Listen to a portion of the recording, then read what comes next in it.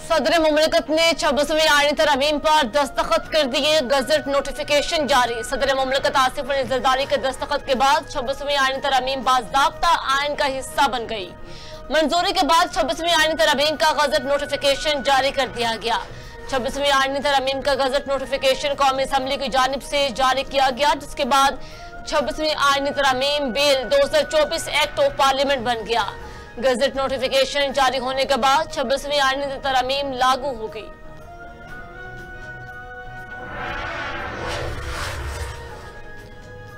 छब्बीसवीं आयनी तरमीम जस्टिस मंसूर शाह और जस्टिस आयशा का दिलचस्प रिमार्क्स। मौसमियाती तब्दीली अथॉरिटी के क्याम से मुतल केस पर समात के दौरान जस्टिस मंसूर अली शाह ने एडिशनल अटॉर्नी जनरल ने कहा, अटॉर्नी जनरल कहाँ है? एडिशनल अटॉर्नी जनरल ने जवाब दिया, अटॉर्नी जनरल गुजशत रात मसरूफ रहे, इसलिए नहीं आए। जस्टिस मंसूर अली शाह ने कहा, आप तो सारी मसरूफियात खत्म हो चुकी होंगी। क्या यह केस अब आईनी बेंच में जाएगा या फिर हम सुन सकते हैं? जस्टिस आयशा मलिक ने मुस्कुराते हुए जवाब दिया, चले जी, अब आप जाने और आपके आईनी बेंच जाने।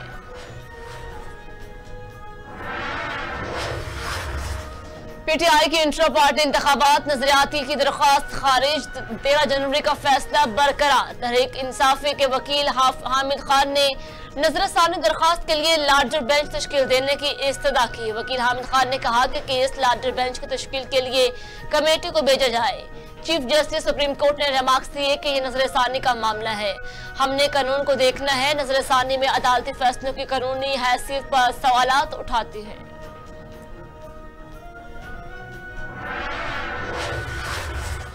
हुकूमत पंजाब ने दफ़ा एक सौ चौवालीस के नफाज का इख्तियार डेप्टी कमिश्नर को दे दिया। डेप्टी कमिश्नर अपने जिला में ज़रूरत के मुताबिक तीस दिन तक दफ़ा एक सौ चौवालीस लगा सकेंगे। सेक्रेटरी दाखिला पंजाब को नब्बे दिन तक दफ़ा एक सौ चौवालीस के नफाज का इख्तियार दिया गया। नब्बे योम से जायद अरसा के लिए दफ़ा एक सौ चौवालीस के नफाज का इख्तियार काबीना के पास होगा। हुकूमत पंजाब ने कोड ऑफ़ क्रिमिनल प्रोसीजर अठारह सौ अठानवे में तरमीम कर आईनी तरमीम के हवाले से मेरे खिलाफ झूठा प्रोपेगेंडा किया गया। पीटीआई के रुकन कौम असम्बली जैन कुरैशी का वीडियो बयान सामने आ गया। कहा, अपने वालद के कहने पर रूपोशी इख्तियार की। असम्बली में मौजूदगी की गलत खबर की तरदीद करता हूँ। मेरा कौमी असम्बली में जाना तो दूर की बात मैं करीब से भी नहीं गुजरा। पीटीआई फैमिली को यकीन दिलाना चाहता हूँ कि मैं इस तरमीम का हिस्सा नहीं बना। मुझ पर तनकीद करने वाले अपने गिरेबान में जांके मुझे सदकोब किया गया, मेरी बीवी को भी अगवा किया गया, लेकिन मैं पार्टी पॉलिसी और पीटीआई के साथ खड़ा हूँ।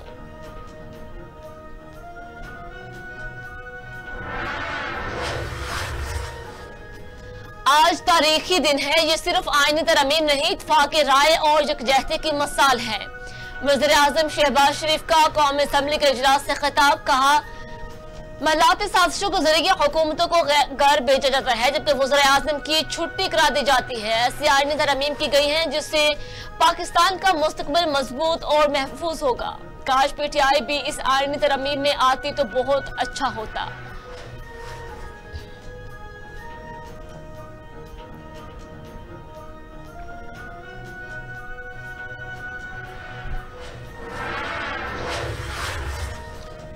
चेयरमैन बिलावल भुट्टो जरदारी ने कहा कि ओपोजिशन काले साम की बात करती है। वो काला साम इफ्तार चौधरी की अदालत थी, जहाँ मुंतब वजर आज़म को फारिग किया गया। अठारहवीं तरमीम के वक्त मिलकर आयन से आमर के तमाम काले कवानीन को निकाला। अब भी जितना हो सका इतफाक राय कायम करने की कोशिश की है। तहरीक इंसाफ तरमीम के हक में वोट ना भी दे तो ये इसकी कामयाबी है।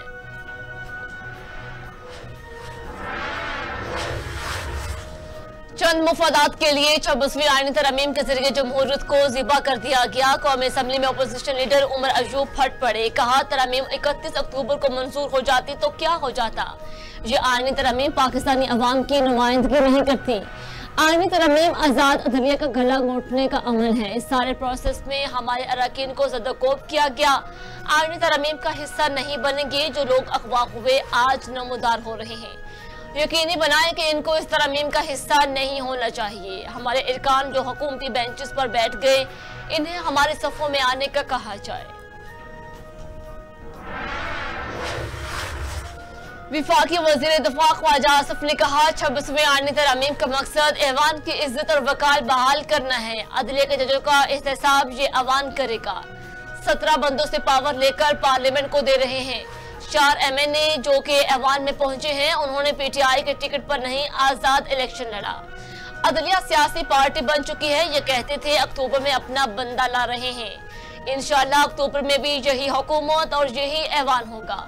जस्टिस काजी फायदेसा वाहद आदमी है, जिन्होंने अदलिया की इज़्ज़त बहाल की, इसीलिए वो इज़्ज़त से घर जा रहे हैं। आर्मी तरमीम को चैलेंज करने के लिए कानूनी अमल का जायजा ले रहे हैं। जमात इस्लामी के अमीर हाफिज नईम रहमान की प्रेस कॉन्फ्रेंस कहा, अदलिया पर कब्जा जमाने के लिए बड़ी देर से कार्रवाई जारी थी। गुजशत रोज पीटीएम में तीन मुतहरिक थी, जबकि अपोजिशन के चंद लोगों ने तरमीम के हक में वोट दिए। अपोजिशन रहनुमाओं से कहना था तरमीम का हिस्सा ना बने, कुछ लोग बिक जाते हैं और कुछ दबाव का शिकार हो जाते हैं। असम्बली में आधे लोग वो हैं जो जीते ही नहीं। उन्नीस का आयन मुश्किल हालात में बना था। पंजाब हुकूमत ने सिर्फ़ दो माह के लिए अवाम को रिलीफ दिया।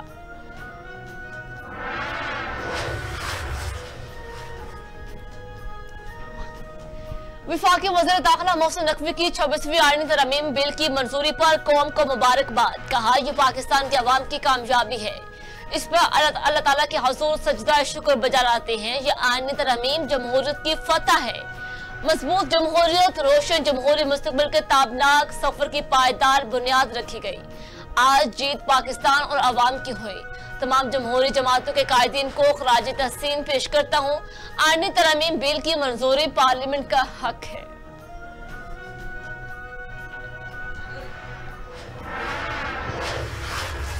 पीटीआई इकतदार में आकर मुतनाजिया गैरानी तरमीम का खात्मा करेगी। मुशीर इतलात खैबर पख्तूखा मिनिस्टर सैफ ने कहा, जाली हुकूमत ने रात की तारीखी में सुप्रीम कोर्ट पर शब खून मारा।